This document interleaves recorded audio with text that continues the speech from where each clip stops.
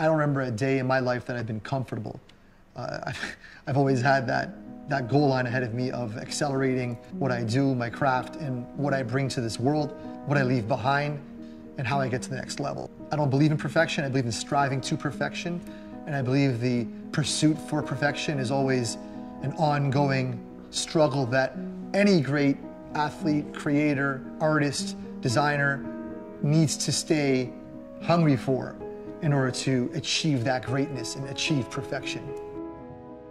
My name is Ferris Rafauli. I design architecture, interior design, and luxury products.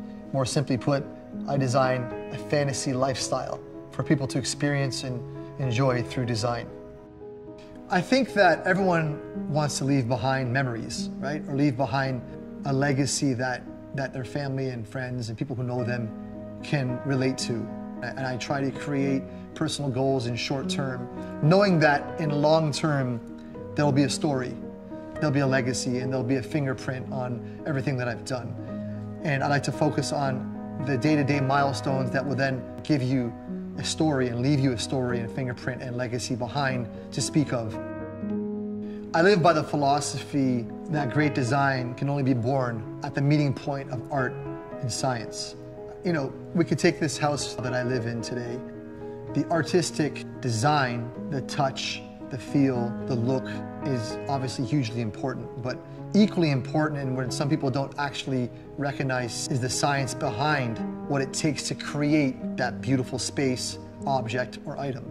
The science behind design and how things come together, assembly, materials, are equally important as the craft of designing artistically and making things beautiful.